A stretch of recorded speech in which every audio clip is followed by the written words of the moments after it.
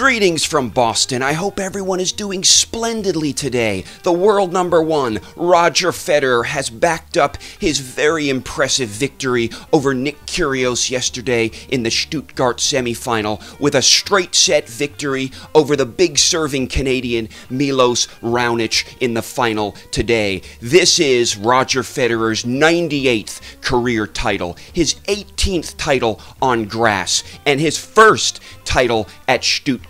Congratulations, Roger. I want to break down this match for you and give you a little preview of what's to come this week at Halle. Subscribe to the channel, give the video a thumbs up. This is Tennis Talk Daily.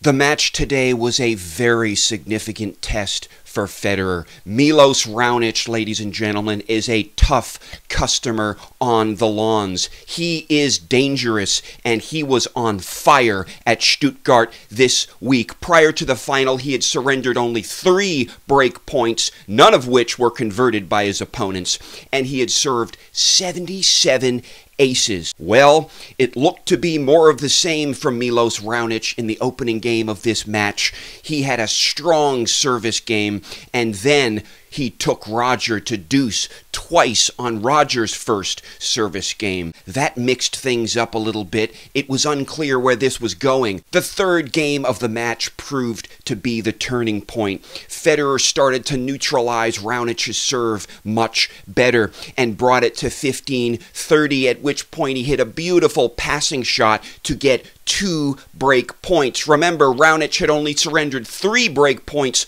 all week, and here was Federer getting two break points in the third game of this match. Then Federer hit a splendid backhand cross court return to break Raonic and go up 2 1. But it looked like Raonic might break back when Federer surrendered the first two points of his next service game. Well, some very tactical play, including some fantastic one two punches behind the Federer serve, enabled Federer to squeeze out a hold. Each man then held their serve, and Federer was able to win the set in style with a love hold, including a wonderful chip and charge. His serve stats started to come together, and Federer looked very strong in the second set but so did Raonic, and both men protected their serve very well. In fact, Raonic was applying a bit more pressure to Federer's serve in the second set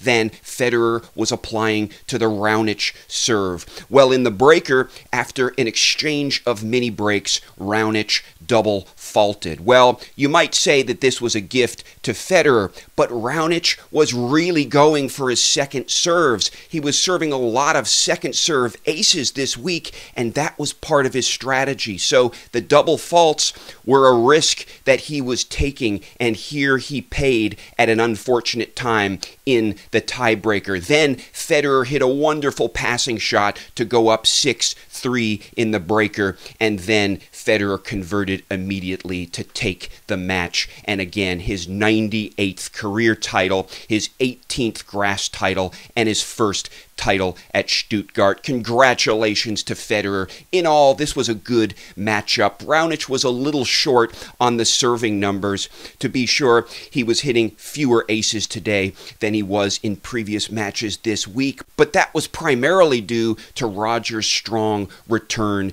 game. Well, this match demonstrates that big serves are not enough to win grass titles. And I remind you, Milos Raonic, with that massive serve of his, has yet to win a grass title in his career. Well, this match was a big test for Federer, coupled with the Kyrgios match yesterday. He's not going to see as much pressure on him at Halle. His first match will be against Aljaz Bedene and they've met once at the Australian Open in 2018. Federer prevailed in straight sets. In the second round, he could see Benoit Paire. In the quarterfinal, Kohlschreiber could be on the other side of the court. In the semifinal, things could get interesting. He could see Team Pouille or possibly Stefanos Tsitsipas if he can get through Pouille in his own first round match.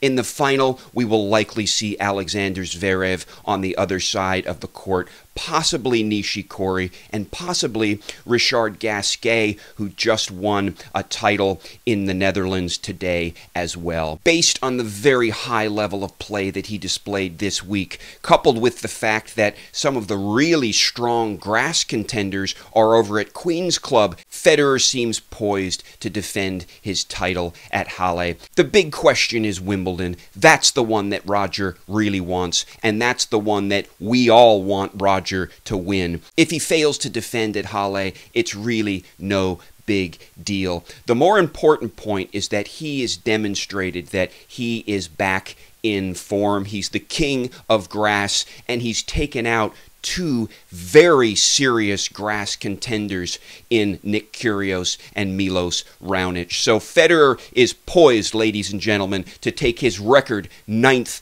Wimbledon title. I'm going to be covering that in great detail. I'm covering the entire grass season in great detail. Thank you for your viewership. Subscribe to the channel. Give the video a thumbs up. Signing off from Boston.